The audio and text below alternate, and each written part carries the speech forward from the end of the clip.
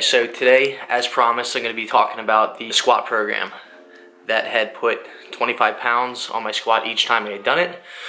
This is something I have made videos about in the past, and I'm not sure if they're still on my channel or not. This is uh, about the Sheiko program. And I'm also going to be talking a little bit about why I think those big increases happen and what I've taken away from it. Essentially, what Sheiko is, is a four-week program where you're squatting twice a week, deadlifting once a week, and benching three times a week, basically. Which, by the way, if nobody's tried this frequencies and you're stuck at a spot right now, I highly recommend that because that's where I've seen probably the most optimal results so far.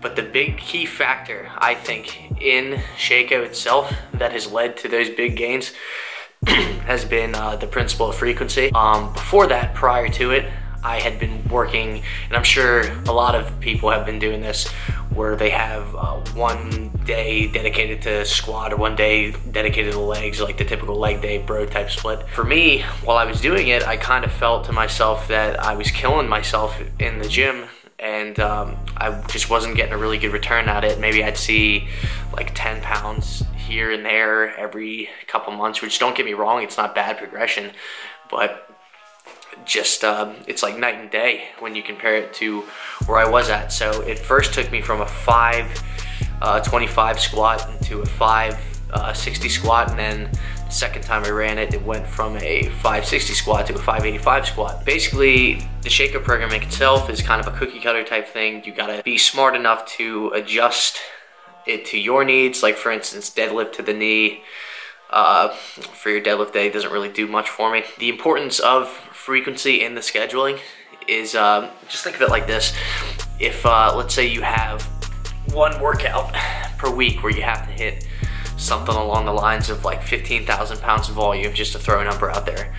So you're hitting your reps and sets uh, to be able to hit that in one workout versus let's say instead of killing yourself doing that, you hit two thirds of that volume. So you hit 10,000 pounds of volume in that one workout but you still had like you're still able to recover enough for maybe like two or three days later and then you can hit another 10,000 pounds of volume.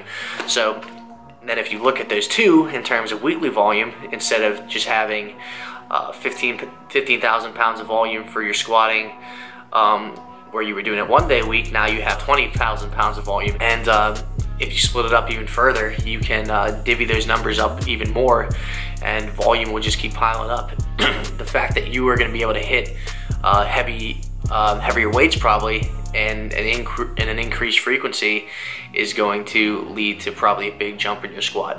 Um, I don't know if I recommend doing it as much with deadlift because for me personally, my lower back tends to wear on me a little bit more. Um, you might be able to get away with doing it twice a week, but I would go a little bit uh, lighter, maybe work on speed the second day, something like that. But um, yeah, if you're having any trouble with squatting, principle probably works with benching a little bit too. Just increase your frequency, cut your volume from day to day and focus on a weekly volume and you're gonna see big increases. For anybody who hasn't done a Sheiko type program and uh, has kind of steered away from it just because of the, the cookie cutter nature of it. Just adjust some of the lifts to your individual needs and I think you're gonna be pretty happy with the results. Until next time, like, share, and subscribe and I'll get back to you guys tomorrow.